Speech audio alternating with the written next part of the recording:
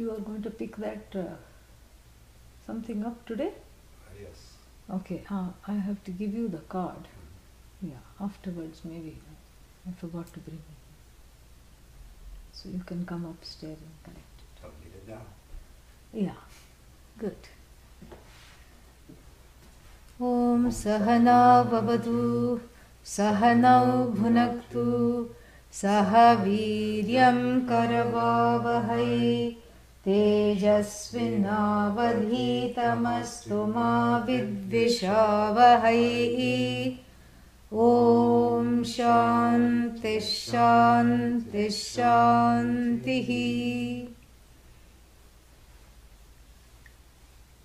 the Upanishad itself, in addition to the Bhashya, Upanishad itself has certain, you know, pedagogical tools that it uses for ease of understanding, for this peculiar understanding, for solving this peculiar problem that almost doesn't exist. But kind of, you know, almost is there, is not there, it's in between, the problem is in between, the knower is in between, and this whole in between thing, it dismisses it, dismisses this whole in between reality, not by terming it as non existent, but by showing its dependence, dependence on that which is ultimately you. So the Upanishad also has the methodologies. And uh, what are some things, if we look at all the Upanishads, we see some common methodologies. One of them, and from this we know what this study is like. One of them is that it is always starting with a little story, most of the time. There is a context, there is a akhyayika, a story in the Mundaka Upanishad that we are studying. What is the story? There is a parampara is described first, starting with Brahmaji, and then what? Shaunaka, who was a great giver, had done a lot of fire rituals, and wondered what is this leading to? Is this the ends or is this the means? And so saying, approached a teacher. For that knowledge, knowing that one thing, knowing which everything is known, approached a teacher for that knowledge. Now, very interesting, because you see, there also you have the link between the first portion and the second portion of the Vedas. The Upanishad first, the, these akhyayikas, these stories serve as a bridge for the student who is who is cross but not yet crossed over to the other side, who knows I'm cross, I'm angry, I'm upset, but has not crossed over to the second portion of the Veda, which we have seen in detail what the differences are. So this student has not crossed over yet because still the moorings are there. And the vasana, the habitual patterns are all there about identifying as a doer and uh, wondering where all this doing is leading, what is the fruits of doing, is knowledge a fruit of doing, all these things are still hazy in the person's mind. And the Upanishad, the, the, the mother, beautifully mothers here by building a bridge between the first and the second portion of the Vedas. In fact, the Veda, as the mother already does that in the first portion, and even in the first portion of the Vedas says that Yajnena jnanena tapasa vividishanti brahmanaha. I mean, it, there are so many statements that say that uh, like all the work that you are doing is preparation to know this. So the first portion of the Veda builds half the bridge already. But in case you have missed it, the Upanishad also comes over to this side of the Veda briefly to usher and guide the student safely over to the side of being from doing. You graduate from doing to being. So the orientation towards doing has not yet gone. So usually the stories act, the stories have a number of, you know, wonderful, uh, lot of significance, lot of importance for the stories. The stories act as a bridge. The Upanishad is frequently a bridge. The stories often show someone who is doing a lot of rituals or who has done a lot of rituals. Or the show, stories show someone who says, I want the best ritual for the best effect, for the best thing that I should have. And then the teacher will start teaching self knowledge and says, This is the jnana yajna, jnanameva yajna, this is what you need. And so you, you have various kinds of stories, and the stories do the important you know, the salient and much needed um, job of, of bridging the relevance of the first portion of the Veda to the second. And what are how do they stand in relationship to the each other? The first portion is the means the second portion is the end the first portion is the preparation for the second portion which is the knowledge so the stories establish this connection unequivocally that is the first thing the stories accomplish the stories also entertain the jiva who is bored, a jaded jiva who comes to the Upanishad, wants to be entertained. You know, because it's not easy to leave all the malls and balls and then come here. You know, sitting at 8 o'clock in the morning. What are you getting? You know? And uh, so, therefore, it is not easy to do that. And the Upanishad values the person's commitment, the person's viveka, commitment, vairagya, renunciation from all other pursuits, and knows that in the beginning, Shrotra Buddhi as uh, um, Adi Shankara explains in another Upanishad, that in order to liven up the buddhi of the Shrota, the hearer, to entertain the person a little bit. These stories serve as some kind of a wonderful way to pay attention. If the Upanishad were to say, all this that is here is you, some sounds will start coming. What sounds? Snoring sounds from the classroom. Nobody will listen. Why will they listen? Because the person, that readiness is also not there.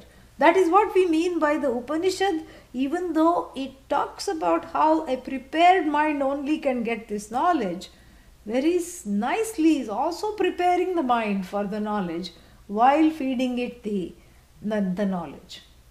So the second thing about the stories is that they they perform the they have the unique position of keeping this person interested, alive, entertained enough till the person plugs into the teaching and can let go of the need for the story. Like, see where we are in the Mundaka now, nobody is interested. What happened to Shaunaka?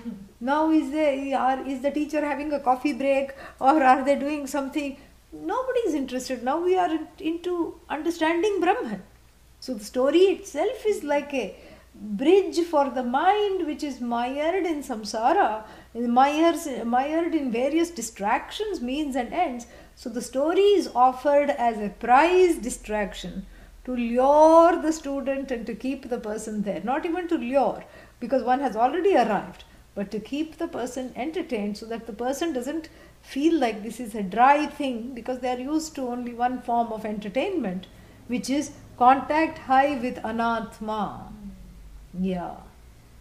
So this is the whole thing.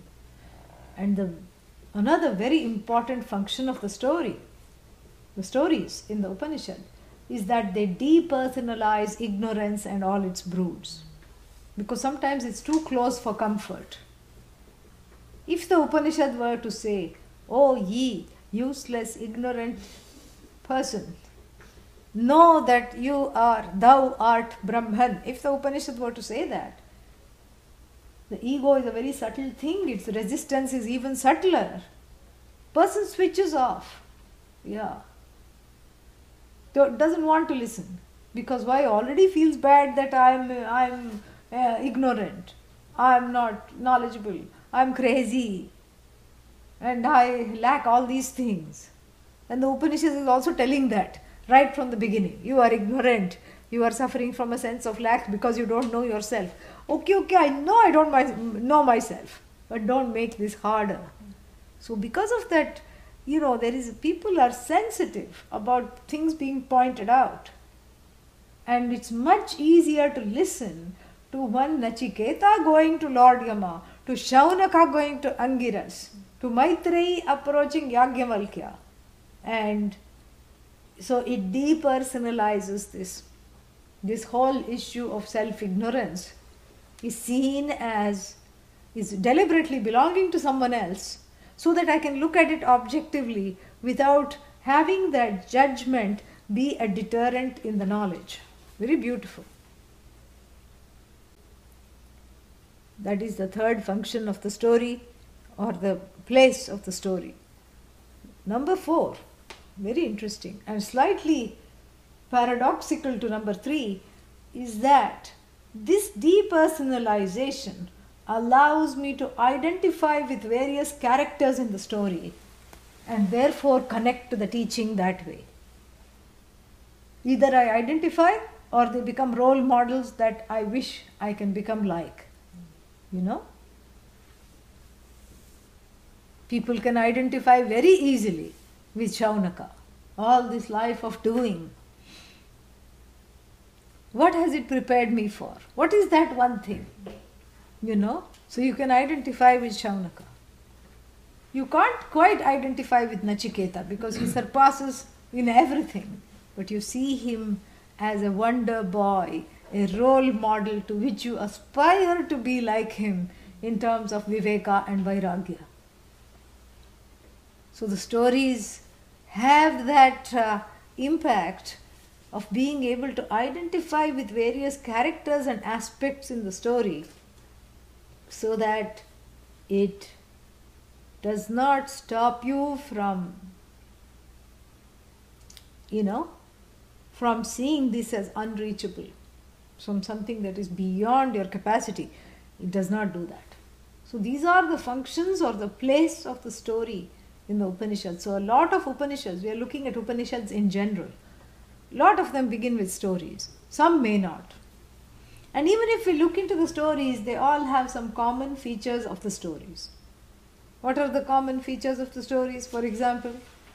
Typically, student and Yeah. teacher. Typically, they have at least two people. Story means, dialogue means you have to have two people. So they, they typically have at least two people, sometimes more. Sometimes the whole classroom is described in the Kenopanishad. In the Prashnopanishad, there are six students and one teacher.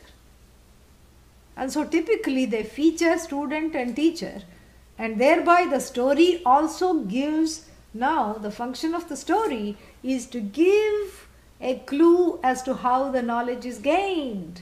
From the story itself, we know how the knowledge should be gained. It's not gained by sitting at home and eating bananas. It is not gained by doing yajnas. It is not gained by reading the book. Nobody is reading the Upanishad at home in any of these stories. Oh, Shvetaketu, what are you doing? Oh, I'm just reading the Chandogya Upanishad. he doesn't say that. Yeah. So the, the story itself shows, illumines the, the nature of the pursuit and what is needed to stop pursuing the self.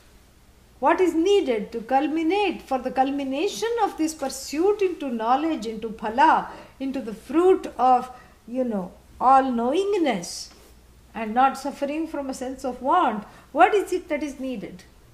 So it is that interaction with the teacher. This is very evident. All the stories talk about that. And then one more thing, what does the story do? It talks about who goes to the teacher. The one who identifies as the student alone calls, you know, for a teacher. First, it's an inner search, then one searches outside. And so, here also we know who should approach who. Teacher should not hand out leaflets at the street corner. come one, come all to the Kathopanishad ball. You know, we, we shouldn't do that.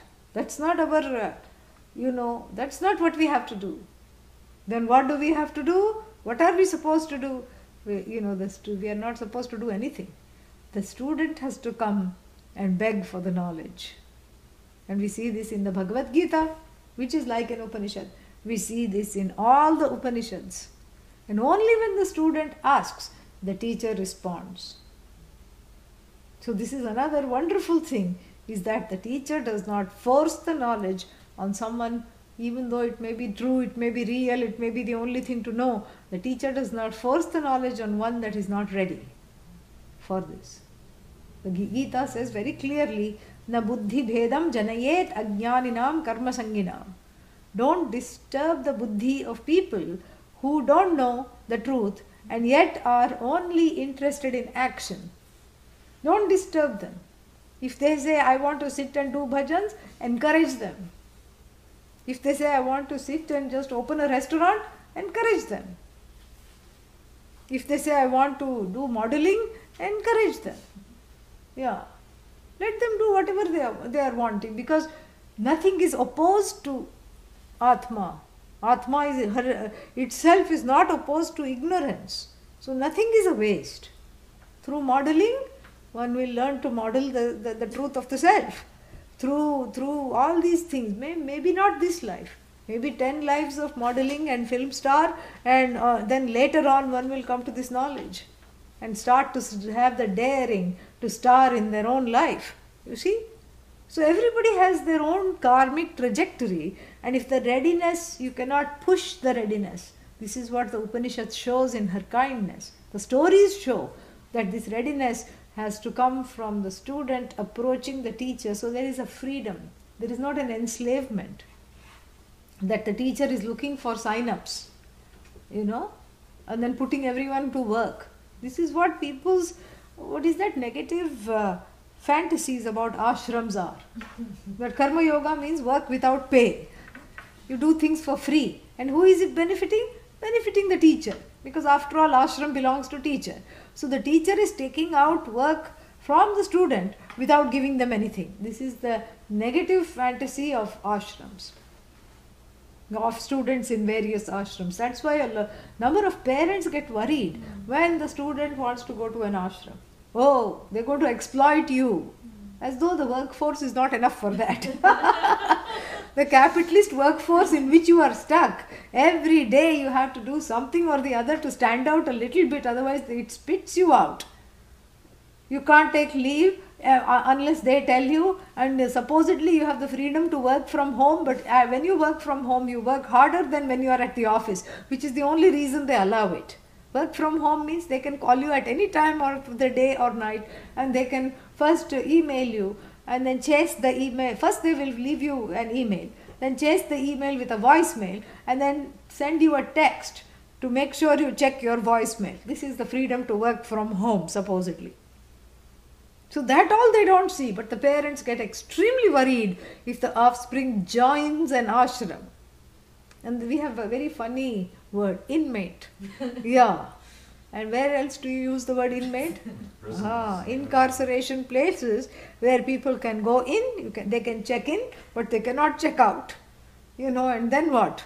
And what do they do there? They work for no money, correct? Because they, they keep making license plate and clothes, and because uh, a lot of these uh, um, capitalist, um, what is that, these factories are located in prisons, Gap, and all these other things.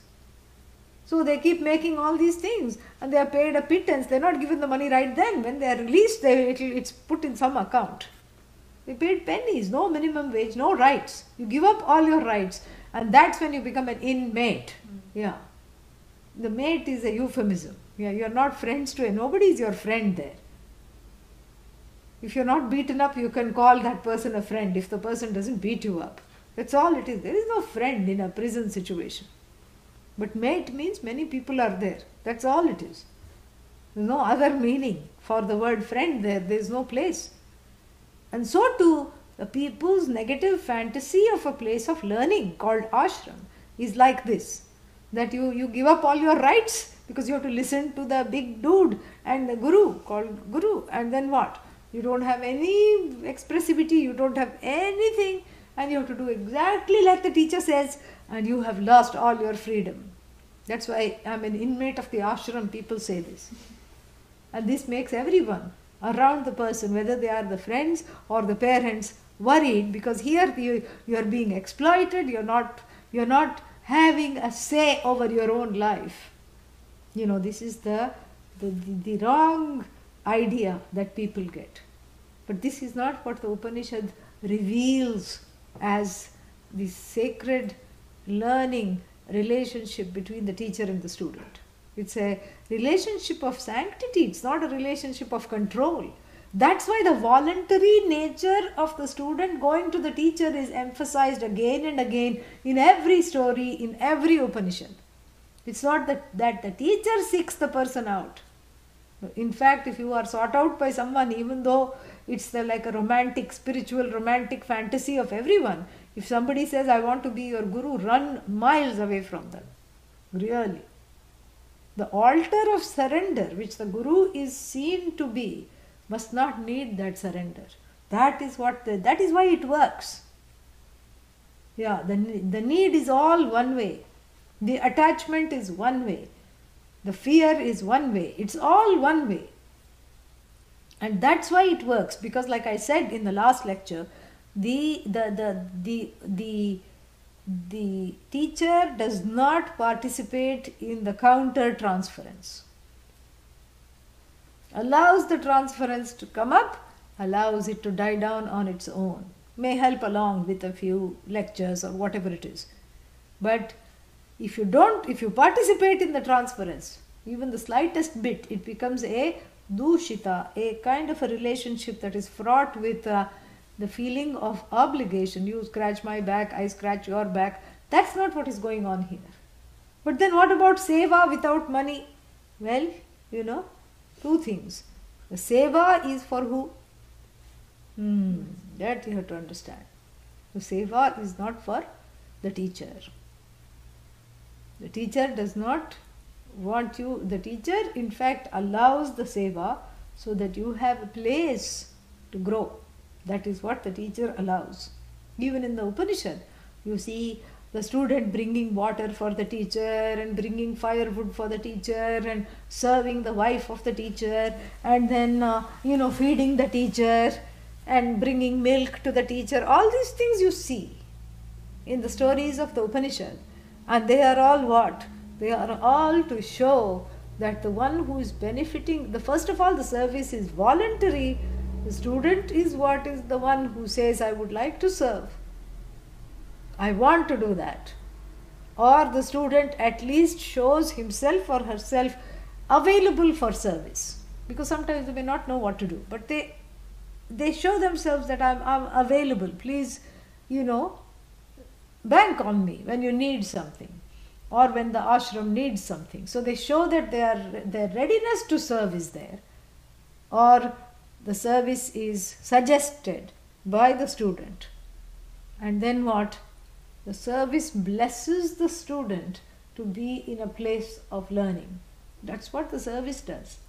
What does the service do? It reduces strong preferences because in the time of doing the service, you know, you could be doing so many other things. Who has time to do one more thing? No one.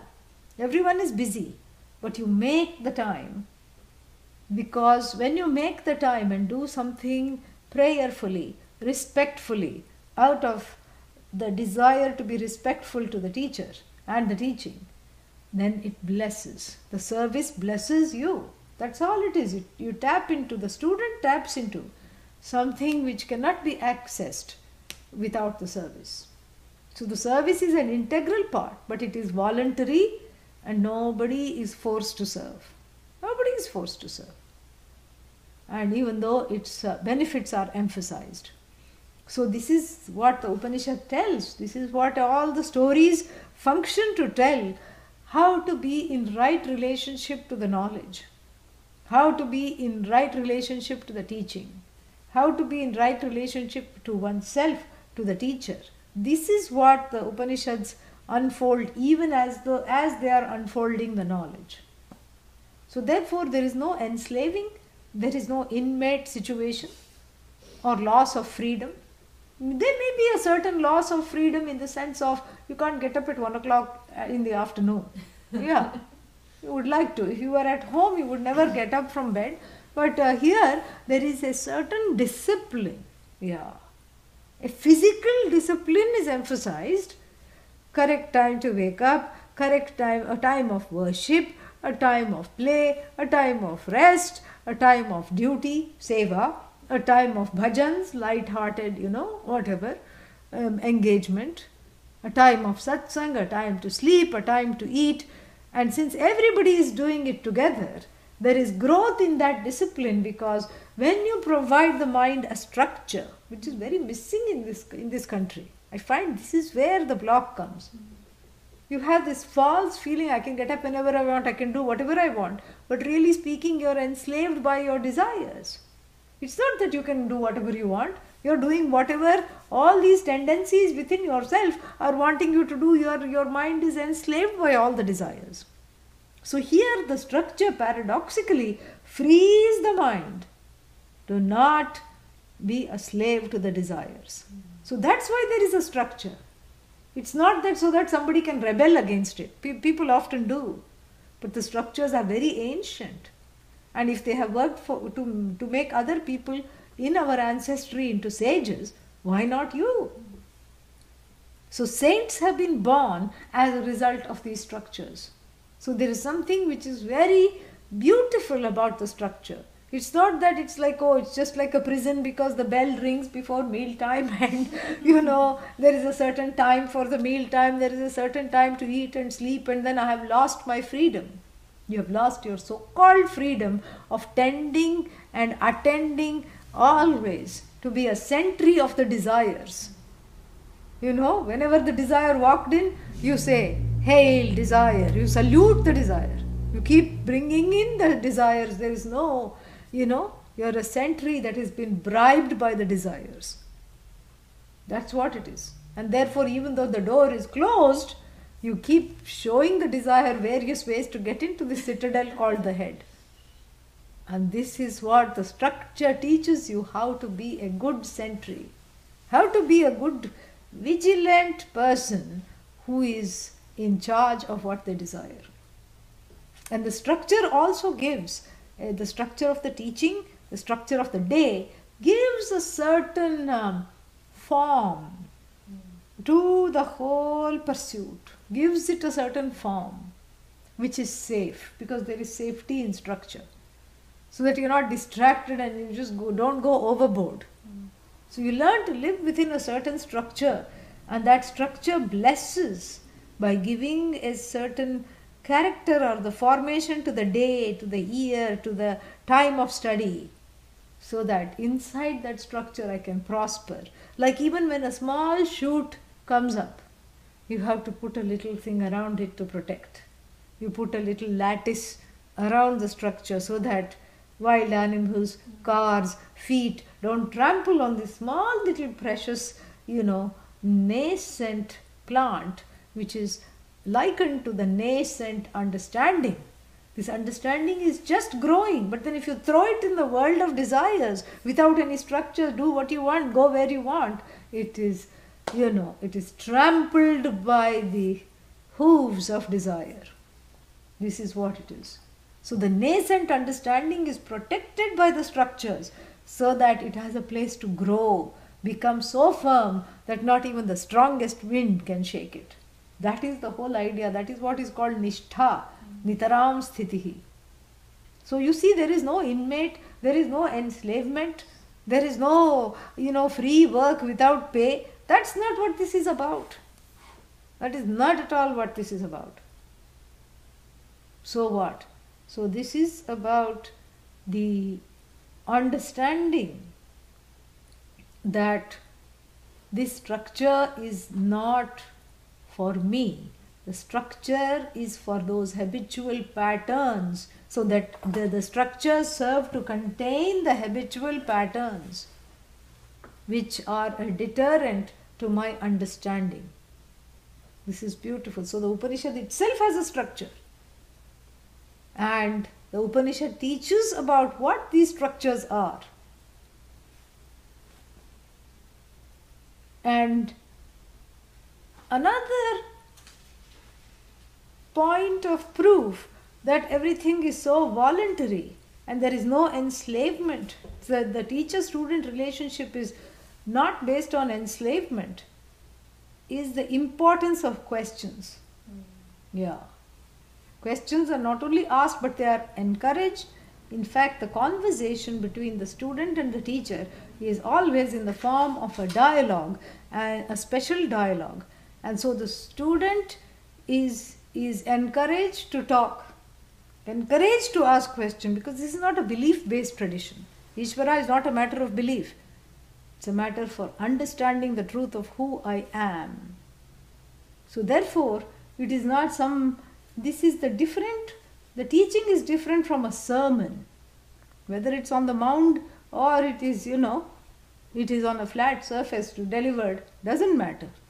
The sermon means you just have to believe that there is a God, that you have to believe that you are you were born in sin and that that belief is going to save you that someone died for your sins even though you were not even there to have those sins were all based are all based on belief. You can't question. If you question you're seen as a heretic. The question itself is seen as blasphemous. It's blasphemy. Meaning you are you, in the ancient times at least if you ask such questions you were immediately excommunicated and today it came in the paper that there is one forward thinking uh, Jesuit priest in India.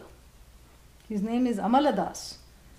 And uh, he is, you know, he has been doing a lot of interfaith work and apparently has come to the notice of the Vatican, even though the Vatican is now headed by a very progressive pope in a number of respects. But this they don't like about him, you know, they don't like a number of things about him because he said something he wrote apparently i've not read the article i would like to write, uh, read it but he has been refused permission to publish it he apparently wrote an article that has become the seat of a number of controversies and the article i don't know what it's called but it's about whether the theology christian theology in india has necessarily to be different because of its heritage yeah, that is something like the title.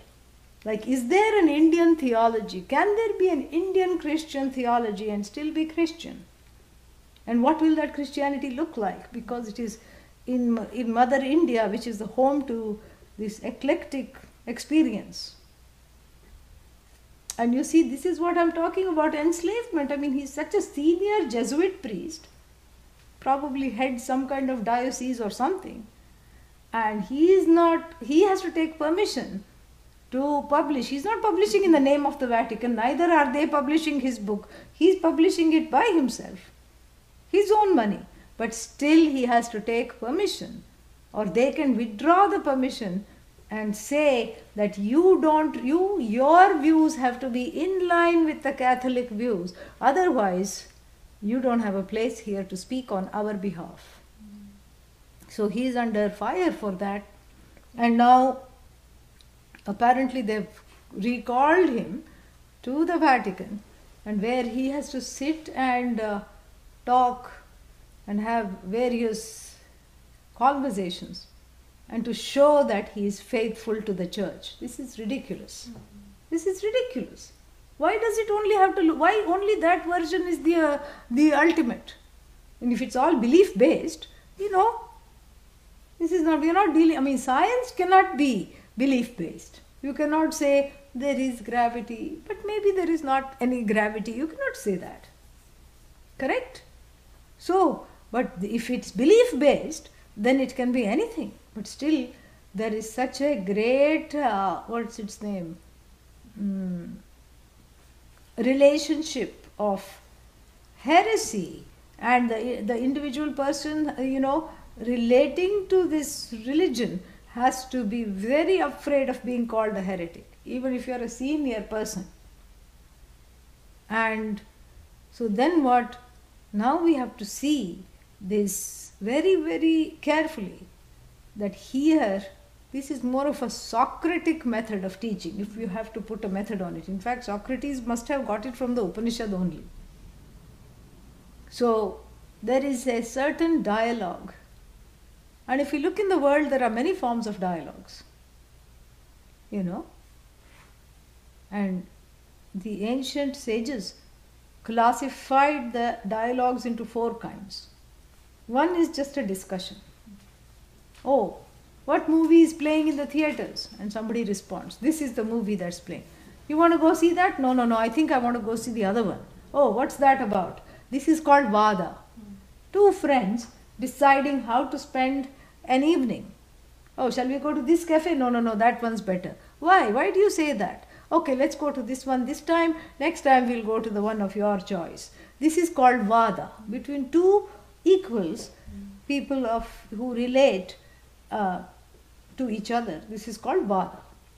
Then we have a special dialogue between the student and the teacher. The student is not that the student doesn't talk, the student asks the questions, talks, and may comment on something which the teacher said to increase his or her understanding, but gives the benefit of doubt to the teacher and listens when the teacher talks with an open mind. It is called samvada, like the conversation between Krishna and Arjuna.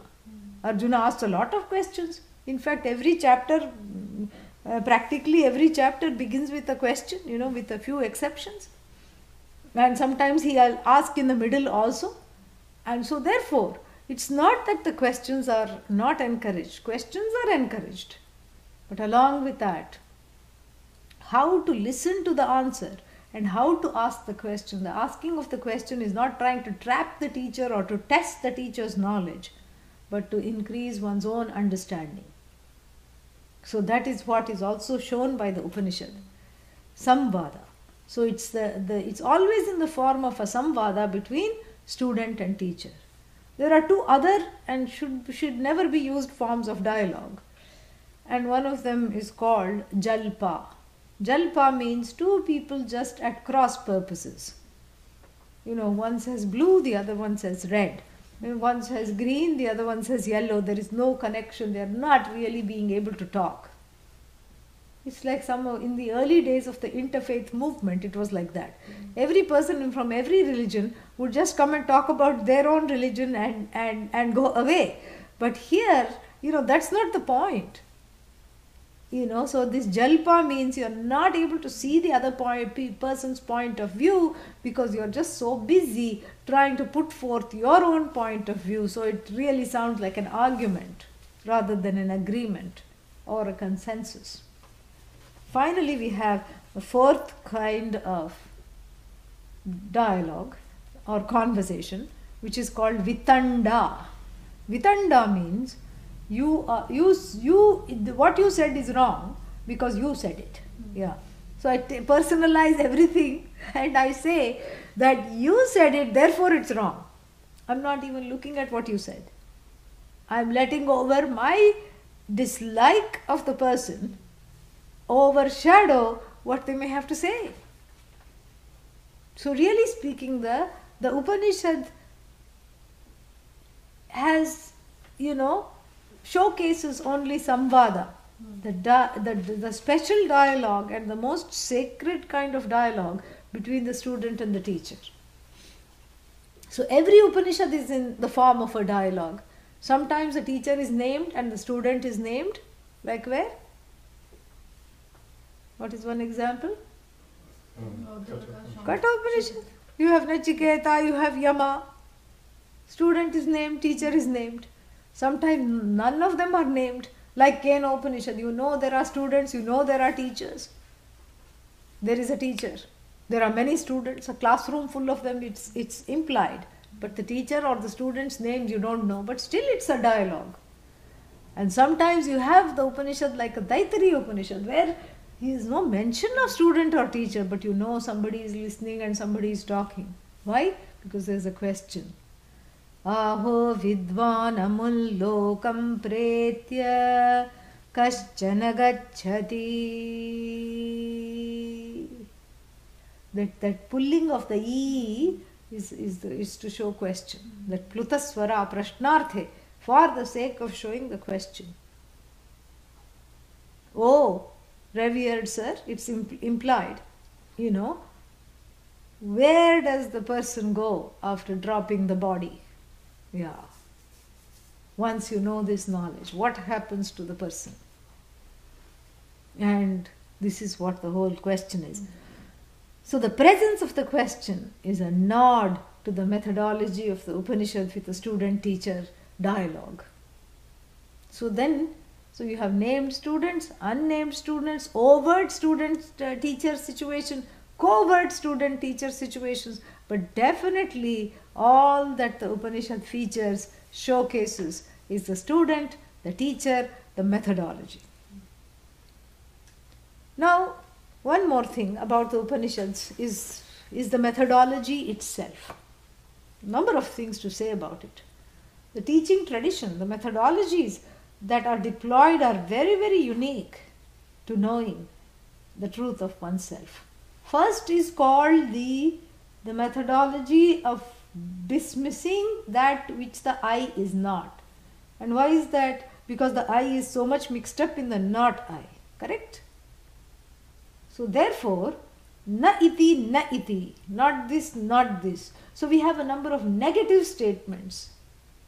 Not statements full of negativity, but negative statements. As in not affirming what, uh, you know, what the, uh, as in affirming what the I is not by negative statements. Like ashabdam, asparsham, agandham, arasam, meaning it's not an object of you know sight sound taste touch. Negating the five you know mula pramanas or inference all the means of knowledge to find out the truth of i. So this is this is one methodology and then we have affirmative sentences asango hi ayam purushah aham brahmasmi to show that that oneness, to reaffirm that oneness. So there are affirmative statements, there are na iti and then iti, that is one, you know, kind of a thing. And then there is apavada, aropa and uh, adhyaropa and apavada.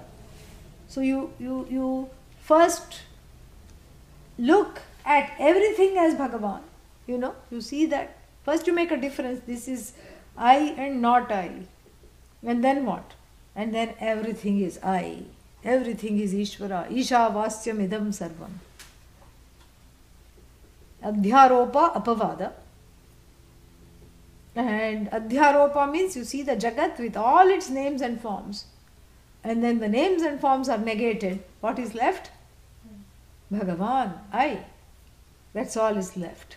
So it's and another name for this method in English is the law of invariable concomitance. And what is concomitance means when A is, B is. But when you see that when you know B is not, what still is? A still is. That's why the three states of experience follows this methodology. Sleep is I am. Waking is I am. Then what? Dreaming is I am. So what is common in all this? I. So sleeper, waker, dreamer, who sustains? I. So if I is not there, is sleep there? Can sleep exist without the I? No. Can the dreamer exist without the I? No. Can the waker exist without the I? No. So this is what is called adhyaropa apavada. So you look at the situation, you see what is what is that invariably that is there. What is invariable in dreaming, sleeping and waking? It's the I. This is a beautiful way. So all the Upanishads, you know, when you see, we are just showcasing the the general ways in which the Upanishad deploys various methodologies to bring home this knowledge. So you see this a lot in the Kathopanishad in any Upanishad, you can, you can find Adhyaropa and Apavada being done. Uh, apavada means negating the non invariable, which has su- superimposed itself, you know, on the invariable. And when you negate the that which is not, that which is always variable, when you negate, then the invariable comes out on its own. That which stays, which is not capable of being negated is what is called the variable. I mean the invariable, I. And then the Upanishad also gives some mechanisms or methods to, to internalize this, assimilate this knowledge. If the reason why it is not being assimilated is due to some blocks, fears, etc. So, how to clear the mind through upasana, through various sadhanas, practices, such as meditation. How to fix the mind, because when you meditate, you, do, you are not distracted. So, after meditation, also with practice, you are not distracted while listening to the class. The class itself is made into a meditation. So, this is what is taught to prepare the mind to, to have a single minded focus, singleness, and a focus. This is what the Upanishad also has upasana. And then it also has ways, it also tells you what you need to do to prepare the mind in a different way. Because the mind, you know, the two problems with the mind is distraction, vikshepa, and then laya. Laya means what? Sleeping or just becoming, getting into a tamasic state. This is what is the problem with the mind. So the meditation controls both of those things, gives the mind a single-minded, uh, you know, way, focus. Focuses the mind. But the problem is also not with focus. The other problem with the mind is that it's full of ragas and dveshas. So to drop the ragas and dveshas, you need service and you need to actually be doing something so that the raga dveshas don't completely what's its name? Overpower the the the person the student. And so often when the student comes to the teaching in the upanishads the teacher gives a key to the cow's stable yeah. Why? So that the student can become stable. After say stable seva you become stable enough for the knowledge. And this is what happened indra who thought i'm the king of the universe i'm the i'm the head of the one who lets people into heaven. And what did he do? He went to prajapati. He said i want to learn this thing. But unfortunately he was accompanied by the king of asuras virochana then what happened? Prajapati gave him the key of the stables. And here he was wearing all white, thinking that he's going to sit for the Upanishad class. He's a brahmachari and he's going to sit in front of the teacher. And he was told to wallow in cow dung, make pat a cake, pat a cow dung cake, put it on the wall to dry, and then collect them in the evening, bring them for fuel. He, you know, this is what he was told to do. And he said, I didn't bring gloves. I didn't bring my apron. Never mind. Just get into the stable. Ah, he grumbled, he mumbled, he fumbled, and then he said, All right, for how long? You know, when is the next class? After 33 years. and then what? Then he dressed up again, put vibhuti, you know, got to, had a shower, got into white clothes, sat in front of the teacher and the class was shorter than the opening prayer. Class was one word, one syllable long. The teacher chanting the opening prayer said, Da. Huh? What? Can I ask a question? Yes. When? At the next class. When is that? After 33 years. 33 years. So how many? 66 years. He did this three times. So 99 years it took for Indra to prepare for the knowledge and since he is a, a celestial, 99 years is not a long time, but still it is, it is a very sobering thought that he was dispatched to the stables by the teacher repeatedly because his mind was not prepared. And what is the source of not non-preparation? Too many ragas and dveshas which are not managed, too many preferences, too many desires which manage you so, therefore, the Upanishad also does this trick of preparing the mind by recommending, by showing what happened to Indra. I mean, such a big person. And so, who is this person? Who then one uh, is of course constrained to think, I don't even have half the punya that Indra does, and he is a celestial. So, look at all the, this seva, I, how much seva I must need to do in order to prepare my mind. So, I, I, I see the gravity of the situation, I see the real reality of, of how that non preparation can interfere with my assimilation of the knowledge. So, this is what the Upanishads have to uh, offer and they are like various flower gardens which specialize in certain things. So if all of them are the same, why do, why do I have to study all of them? You don't. One is enough. But then why do these others exist? Because they are like various grasses where they go. That's why the cow always yearns for the pasture next door. Maybe the grass is greener on the other side. Maybe that has a few more daisies. It's also because the mindset of the student is different. Somebody will feel like only if Indra got this knowledge, then only I'll get this knowledge. So they will be attracted to the Chandogya Upanishad. Some other person will be like Shvetaketu, extremely intelligent and has no time for this teaching. And then somebody else might be like Nachiketa. Somebody else might have, you know, might be averse to having male gurus. Somebody might, might be saying, only if it's a woman I will study. Somebody says, only if it's a man I will study. So that's why there are various kinds of teachers.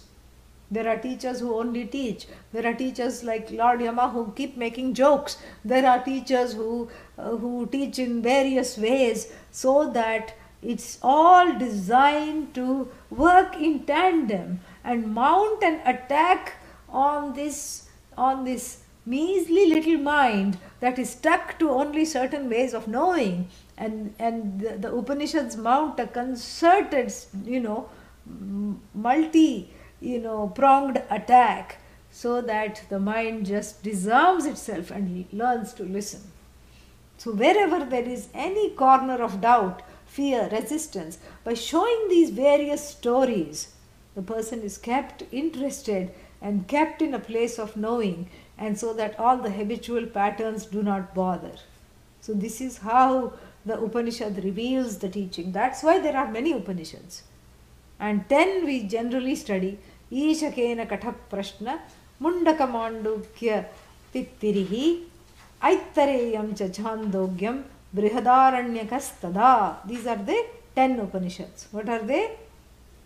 Isha, Kena, Katha, Mundaka, Mandukya 5, Taittiriya called Tittirihi here, Tittiri, then Aitareya, Chandogya, Brihadaranyaka. These are the 10 that are traditionally studied because they have commentaries. But that doesn't mean others should not be you know, study, studied. In fact, we have studied Ganapati Atharvashirsha Upanishad. We have studied what else? You know, Kaivalya Upanishad, which are not among the 10 we are studying Shvetashvatara Upanishad, which is not among the ten, but still they all have to say the same thing. So the idea is if you study these ten, then you can teach anything. Then you can study anything for yourself. You don't need the help of the commentary after a while. So the commentary helps you to, uh, is a guide. You know, it's like the GPS to the Upanishad. It tells you where there are cafes, it tells you where to stop, it tells you how to uh, uh, how to read a particular sentence. It tells you how to read the road signs. It tells you to watch out if there are any dangers in, in wrong interpretation so that you won't be lost. So the, the Bhashya is the GPS to the Upanishad. And so the Upanishads, where are they? I told you they are at the end of the Veda. So how are they? They are all distributed at the end of every Veda there are Upanishads, with a few exceptions. Sometimes they are in the middle, like the Isha Ishavasya Upanishad. And then every Veda begins with what is called a Shanti Mantra. What is a Shanti Mantra? A prayer for the removal of obstacles. Because the person who is coming to the learning has is full of obstacles, where everybody has obstacles, and then the Papa comes out in various ways and the papa comes out means what? There are so many difficulties at all levels. That is the papa. Can't sit in class, that's one papa coming out. Difficult karmas come out. can sit but can't concentrate, another papa, or can sit and concentrate but it's a very noisy place. You know, it's right next to a lumber yard and you, you hear the chainsaw all the time.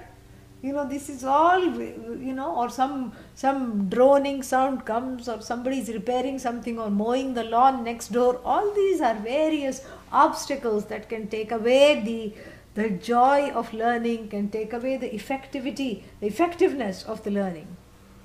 And so, therefore, to, to we start everything with a prayer. The Upanishad starts with a prayer, the whole Veda starts with a prayer called Shanti Mantra, where one prays for freedom from obstacles. So, every Veda has a Shanti Mantra.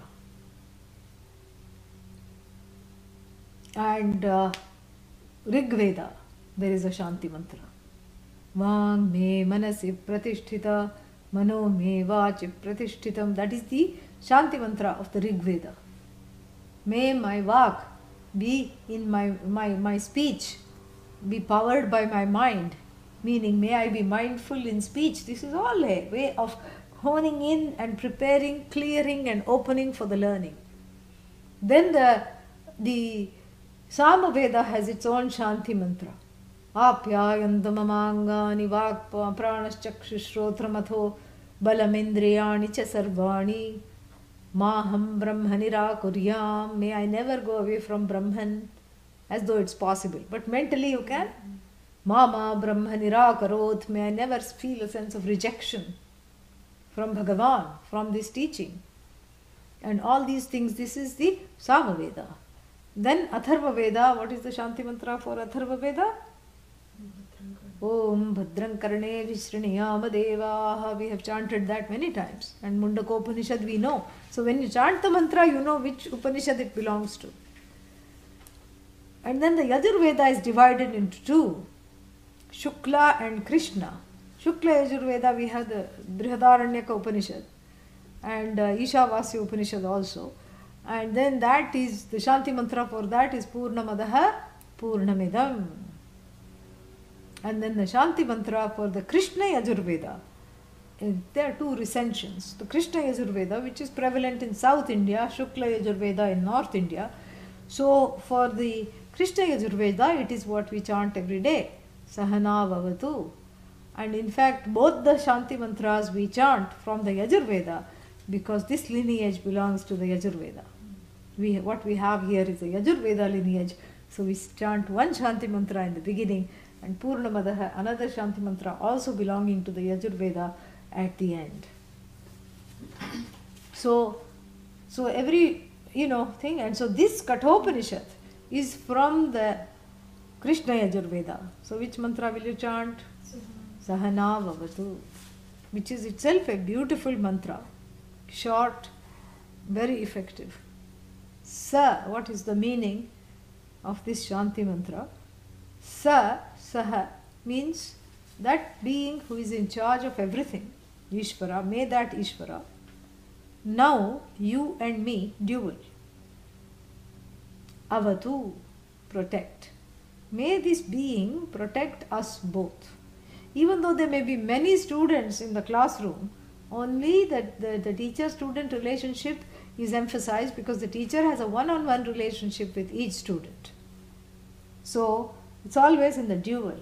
Now, Saha, that Saha, indeed, may Bhagavan protect us both. Why? Because if the teacher and the student are protected, then the knowledge transmission is protected, the mind of the transmitter and the transmitted too are protected. Then Saha, now Bhunaktu. So, not just the minds, but the bodies also may be nourished and protected. Bhunaktu, same, same uh, you know, verb as nourish. And uh, here, the whole thing is this that may we may you and I may us both have what it takes to be protected physically to be nurtured because this body is meant for the knowledge for the teaching sa here it's saha together viryam karavavahai together may we accomplish great things third line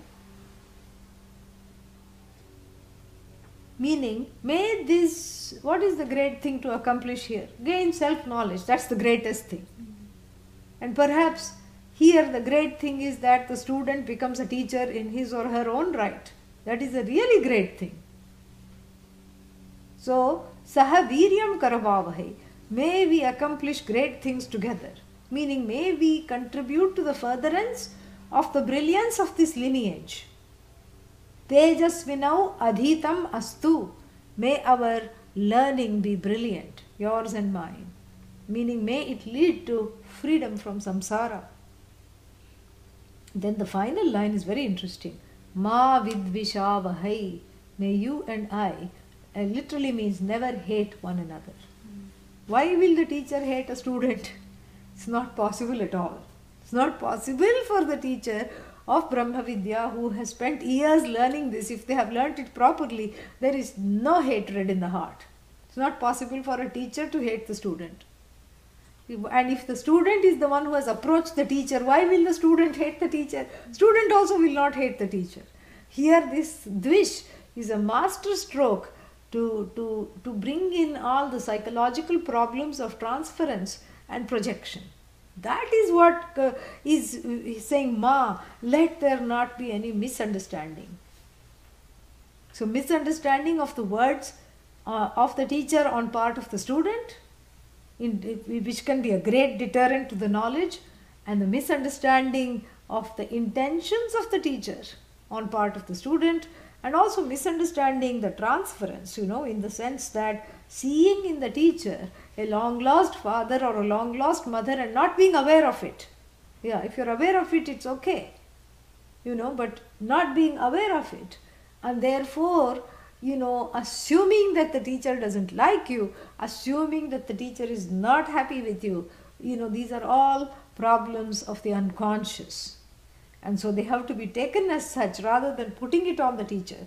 And so here it says, Ma vid vishavahe. May this teaching be free of all the, the, the ugly underbelly of transference and wrong projections on part of the student. And may the words of the teacher never be misunderstood. May they, may they always be understood. And then finally it says, Om Shantihi, Shantihi, Shantihi. Shanti, even though it is um, defined as peace, what is really peace? Freedom from disturbance. And it is repeated three times here because we uh, assign three sources of Ashanti.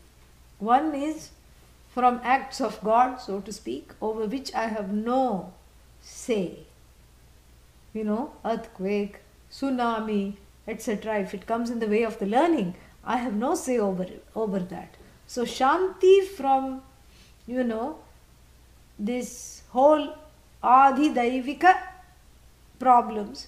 Adhidaivika is acts that are centered, obstacles that are centered on unexplainable forces such as God, Ishvara, Karma, whatever it is.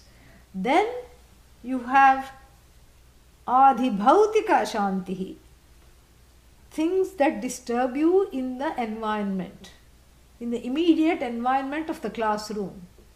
You are paying good attention, somebody walked in that you knew, then you don't like.